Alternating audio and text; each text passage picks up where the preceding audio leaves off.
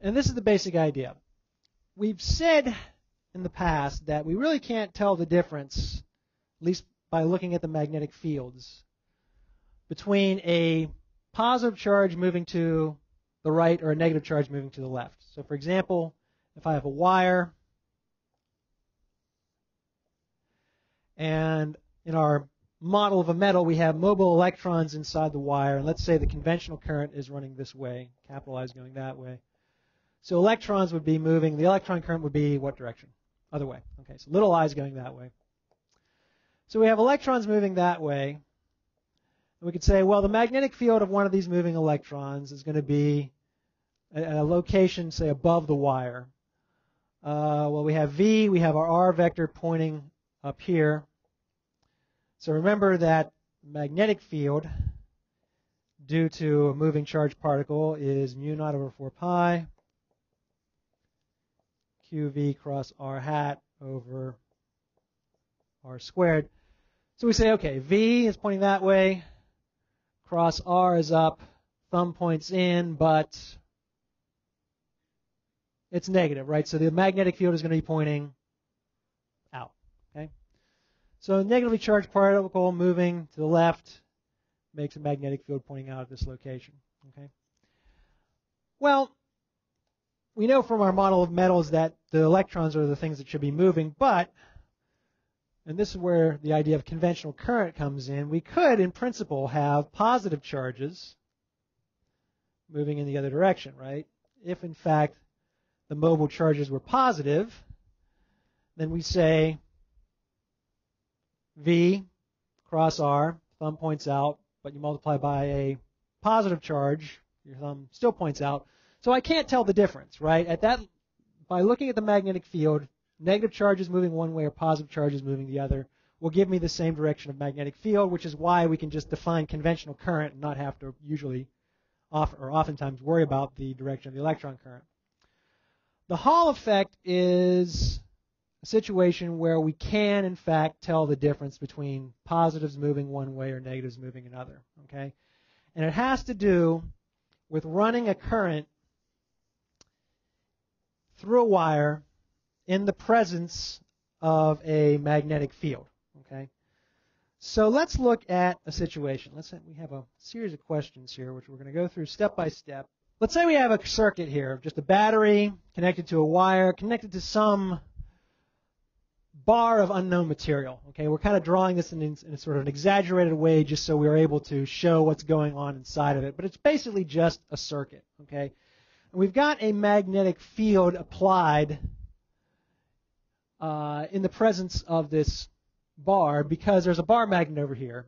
Okay, so we have the north pole here, which means we're going to have a magnetic field pointing. If I were looking at locations here, magnetic field would be pointing what direction? That way, away from the away from the north pole.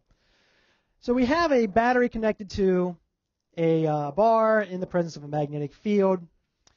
And the first thing we want to think about is the direction of the electric field inside the bar. Now, I'm going to label this thing, this electric field, E parallel. What does that mean? Well, E parallel is the electric field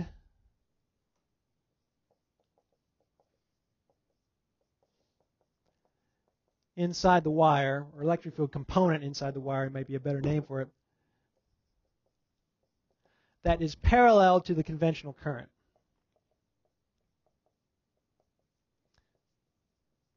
Now we'll, we're, so we're labeling this because we're going to make a distinction between this and another type of electric field later on.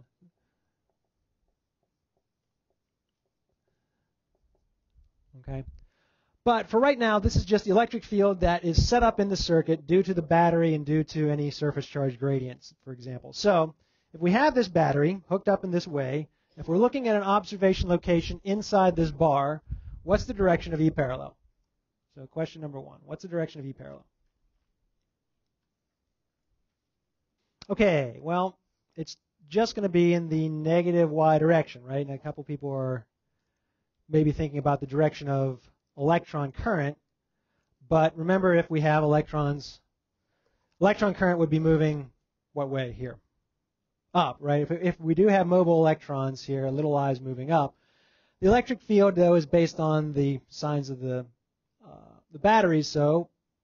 Electric field points away from the positively charged terminal of the battery and towards the negatively charged terminal. Of course, there's a surface charge gradient on here that's going to cause the electric field to follow the wire. But inside this bar of material here, we're going to have the electric field pointing down, and I'm going to call that electric field. Let me draw it uh, over here. call that E parallel. Okay.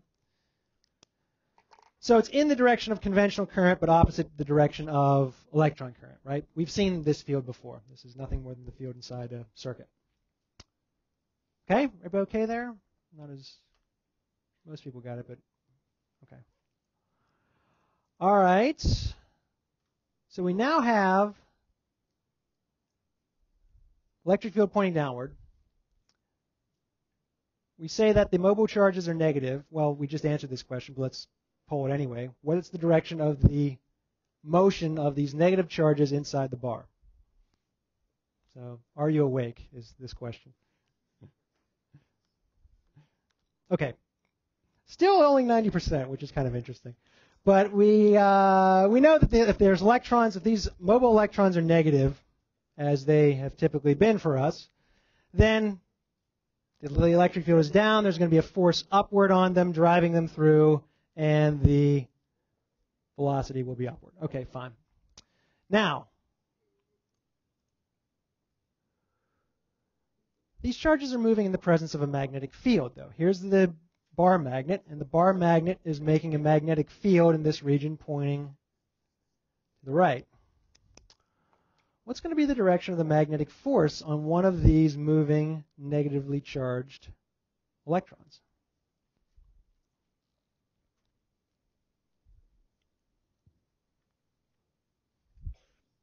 Just the magnetic force, just the force, the magnetic force due to this magnetic field. Okay, 75% of us are saying answer 5, positive z direction, right? Because we have velocity upward, v cross b is negative, but it's on a negative charge, right? So you got to flip the direction. So there's going to be a magnetic force on this neg- moving negative charge that's out towards us. And let me draw this. Uh, let's see. Let me draw the negative charge here, so I can kind of show the forces a little bit more clearly. We have a magnetic force outward.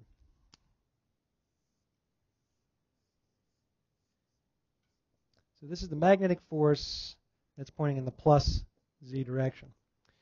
So we're sort of thinking about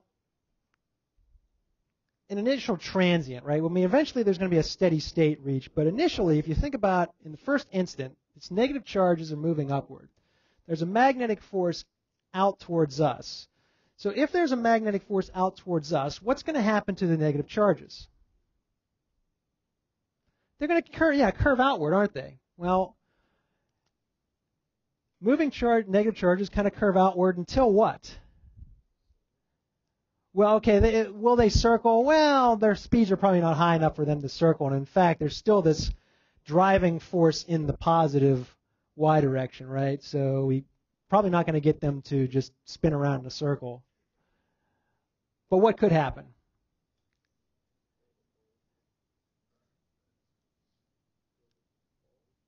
Say again?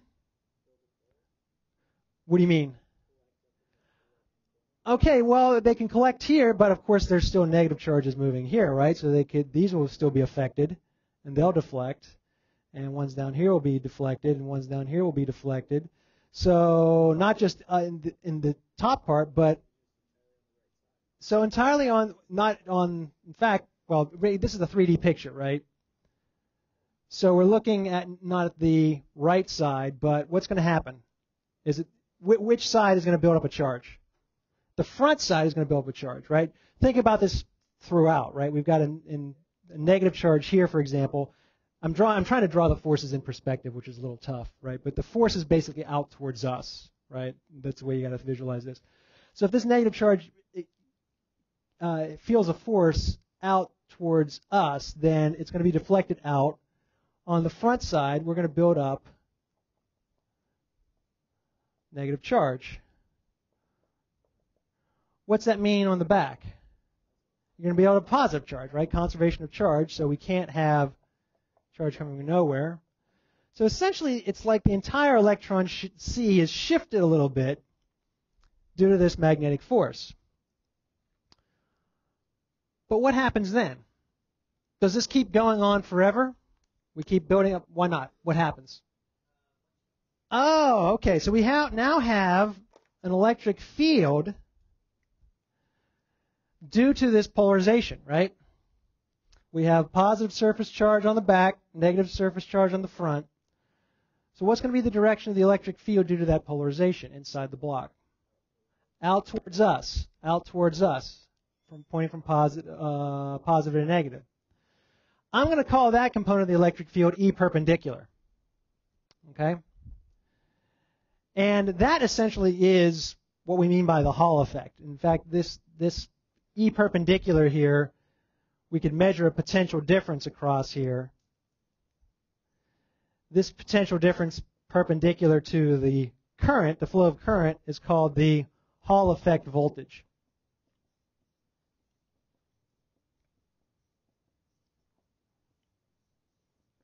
So the Hall effect, when we mean the Hall effect, we mean this potential difference that you get not along the direction of current, but perpendicular to the direction of current that's created by this polarization. The polarization is in turn created by the moving charges in the magnetic field. Okay? When does the polarization stop? It keeps building up until what?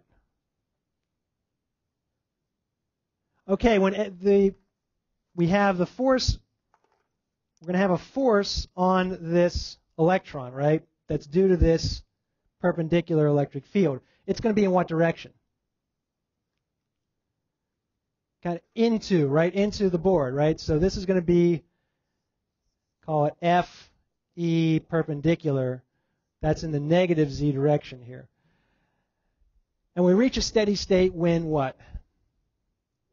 when those two forces are equal, right? Just like in the velocity selector, we have a charge moving perpendicular to two, again, I'm kind of drawing this in perspective, so the way to think about this is positive, or excuse me, the uh, magnetic force coming out, electric force going in, okay? So we have the electric force then balancing magnetic force, and we get uh, a steady state, and so the charges will now just travel through undeflected, right, in a constant speed in a constant direction. Okay.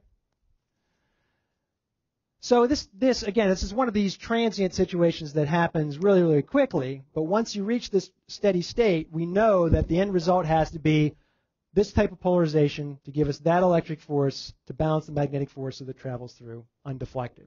Okay. Everybody okay here? Questions here? So, given this, let's say we connect a voltmeter across the bar. And I'm connecting the voltmeter not across the ends. Okay, I'm not connecting it from this end to this end. I'm connecting it transverse or perpendicular to the current in the bar. And I've hooked up the voltmeter voltmeters have a positive and negative terminal.